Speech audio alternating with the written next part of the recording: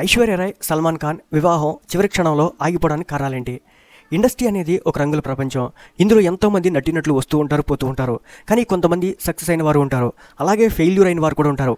అయితే ఈ ఇండస్ట్రీలోకి ఎంట్రీ ఇచ్చి ఉన్నవారు ఎంతోమంది నటినట్ల మధ్య ప్రేమ వ్యవహారాలు ఉండనే ఉంటాయి. ఇలాంటి వారిలో బాలీవుడ్ హీరో సల్మాన్ ఖాన్ ఐశ్వర్య రాయ్ కూడా ఒకరని చెప్పొచ్చు.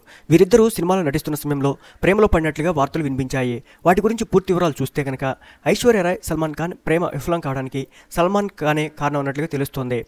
ఇంకా అప్పటికే ఇండస్ట్రీలోకి ఎంట్రీ ఇస్తుంది ఐశ్వర్య రాయ్. ఆ ఆ సమయంలో సల్మాన్ మరొక అమ్మాయితో ప్రేమలో ఉండేవాడట. అప్పట్లో ఆమెను వివాహం చేసుకోబోతున్నారని వార్తలు కూడా వినిపించాయి. అలాంటి సమయంలోనే ఓ చిత్రం కోసం ఐశ్వర్య రాయ్ను సల్మాన్ ఖాన్ తీసుకోవడం జరిగింది. ఈ సినిమా షూటింగ్ పూర్తయ్యేలోపు ఇద్దరు ప్రేమలో పడడం జరిగింది. ఇక వీరిద్దరూ కలిసి నటించిన చిత్రం కూడా మంచి విజయాన్ని అందుకుంది. వీరిద్దరూ చాలా సన్నిహితంగా ఉండడంతో సల్మాన్ ఖాన్ మొదట లవర్ సోవి అలీ సల్మాన్ ఖాన్ మీద మనసు విరిగిపోయి విదేశాలకు వెళ్ళిపోయింది. ఇక ఇదే అదునుగా చేసుకునే ఐశ్వర్యరాయ్ సల్మాన్ ఖాన్ కుటుంబానికి బాగా దగ్గరగా మారిపోయింది.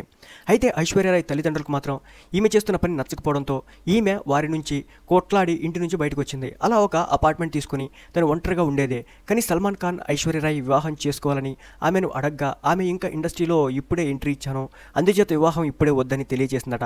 ఎలాగైనా ఐశ్వర్యరాయ్ని వివాహం చేసుకోవాలని ప్రయత్నిస్తున్న సమయంలోనే ఒకసారి రాత్రి సమయంలో తన అపార్ట్మెంట్కి వెళ్ళి ఆమెతో గొడవ పడడం జరిగింది. ఇక అంతేకాకుండా షూటింగ్ సమయాల్లో కూడా ఐశ్వర్యరాయ్ ఎక్కడ ఉంటే అక్కడికి వెళ్ళి చాలా గొడవలు చేసేవారట. దీంతో ఐశ్వర్యరాయ్కి విసుగు వచ్చి తనతో బ్రేకప్ చెప్పినట్టు తెలుస్తోంది. సల్మాన్ ఖాన్ తొందరపాటు వల్లే ఐశ్వర్యరాయ్ వివాహం చేసుకోలేకపోయాడు.